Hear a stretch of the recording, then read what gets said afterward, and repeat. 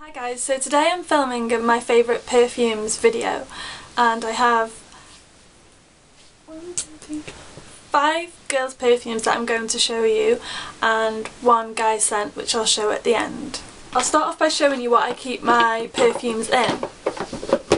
So I keep them in this really cute box that I got from um, a gift set from Ted Baker that I got at Christmas and it's just a little compact box that opens up and it's got a really cute little Ted Baker medallion thing on the front in pink and rose gold.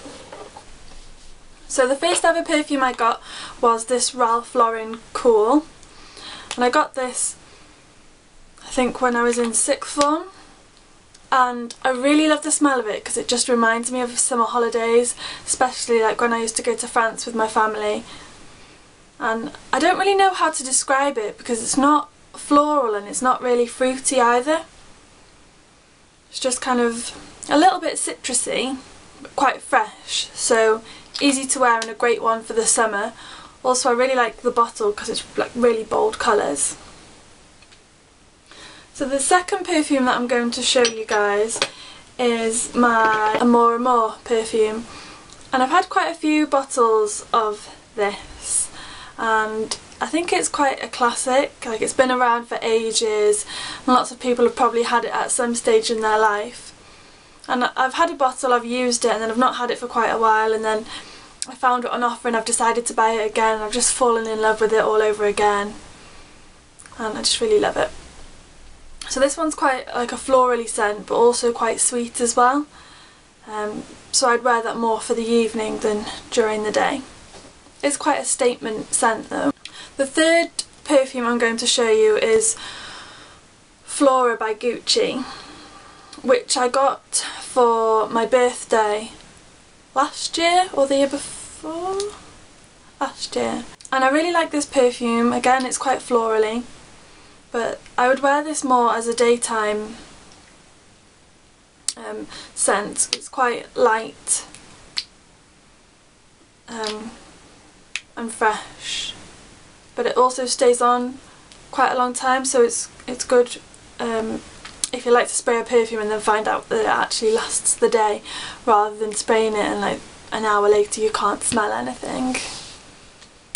The fourth one I'm going to show you is the perfume I wear every time I go out for the evening or on a night out and this is Ricci Ricci by Nina Ricci and it's quite a heavy scent or I'd call it a heavy scent for the kind of perfumes that I like so I'm not into like really heavy perfumes. Um, so I'd describe it as like an evening scent. It's quite like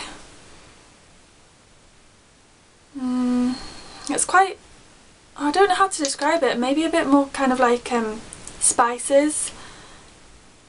But obviously not like Old Spice men's style. Um, yeah, it's just really nice. And the fifth perfume I absolutely adore, which is the most recent perfume that I got, is Oh Lola by Marc Jacobs. And I got this at Christmas time and I just really love the smell of this perfume. I thought I was I was kind of a bit taken in by the advertising for this product because I was in Debenhams and they were giving out free little cupcakes to advertise the launch of this perfume. I didn't think the um, advert of the perfume was very appropriate but I think it got banned. It was the one with Dakota Fanning with the bottle between her legs which I thought was quite provocative and I guess a lot of people did because it got banned. But the actual perfume is gorgeous. Again it's one that I'd wear more for the daytime because it's quite light um, but it's quite sweet as well so more like my Amor Amor but a bit fresher than the Amor Amor. Then the last scent I'm going to show you is actually my favourite guy's aftershave. This is the one my boyfriend's wearing at the moment. It's Gucci Guilty. And I bought him this for Christmas and it just smells really clean. I just love the smell of it.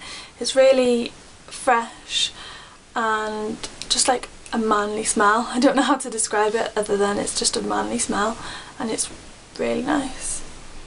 So if you're looking for an aftershave to get your guys, I would definitely recommend Gucci Guilty, or at least go and have a spray of it in Boots and see what you think. So that was the review of the perfumes that I have.